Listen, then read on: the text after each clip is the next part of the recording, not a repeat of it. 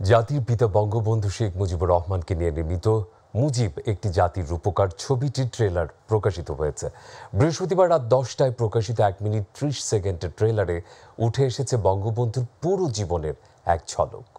বিস্তারিত শামস তাবরিজ উচ্ছ্বাসের রিপোর্টে। আমি বাঙালি, আমি কান চলচ্চিত্র উৎসবে মুজিব একটি জাতির রূপকার চলচ্চিত্রের ট্রেলার উদ্বোধনের মাধ্যমে বিশ্বের সিনেমা অঙ্গনে ধ্বনিত হল বঙ্গবন্ধুর বায়োপিকের আগমন বার্তা। একসঙ্গে ইউটিউবে মুক্তি দেওয়া হয়েছে চলচ্চিত্রটির ট্রেলার। ধানমন্ডি মানতে হবে। ফ্রান্সের ট্রেলার প্রকাশের অনুষ্ঠানে উপস্থিত ছিলেন তথ্য ও সম্প্রচার মন্ত্রী ডক্টর হাসান মাহমুদ ভারতের তথ্য ও সম্প্রচার এবং যুব বিষয়ক ও ক্রীড়ামন্ত্রী অনুরাগ সিং ঠাকুর। এ সিনেমায় বঙ্গবন্ধু শেখ মুজিবুর রহমানের ভূমিকায় অভিনয় করা আরিফিন শুভ শেখ ফজিলাতুন্নেসা মুজিবের চরিত্রে অভিনয় করা নুসরাত ইমরোজ তিশা সহ অনেকেই। প্রজাতন্ত্রের দুইটা আলাদা প্রদেশ। শ্যাম বেনেগাল নির্মিত মুজিব সিনেমায় শুভ তিশা ছাড়াও সিনেমায় বিভিন্ন চরিত্রে আরও অভিনয় করেছে নুসরাত ফারিয়া চঞ্চল চৌধুরী দিলারা জামান সিয়াম আহমেদ জায়েদ খান খায়রুল আলম সবুজ সহ শতাধিক শিল্পী। সিনেমাটির সংগীত পরিচালনা করেছে ভারতের শান্তনু মৈত্র।